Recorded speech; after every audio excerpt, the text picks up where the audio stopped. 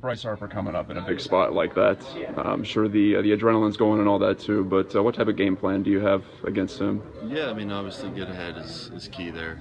Um, you know, Gerrit pitched a great game, uh, but with runners on base, you know, Harper's one of the best in the league, driving and runs, obviously, and um, you know, he's he's seeing the ball really well, as well as anyone in the league. So, um, you know, Stewie and I just wanted to get ahead, uh, and then mix in the slider he knew the book on me was, was going to be a lot of fastballs, so figured uh, we'd take away take away some of his aggressiveness with the breaking ball, and uh, ended up hitting a fastball. Sean made a great play, and uh, we were able to get out of it. It was a huge, huge moment for our team.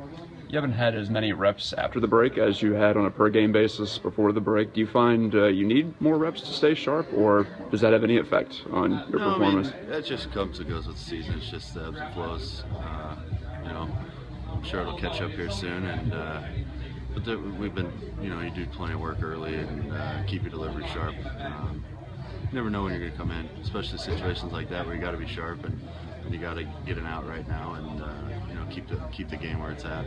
Um, but yeah, that's no worries at all.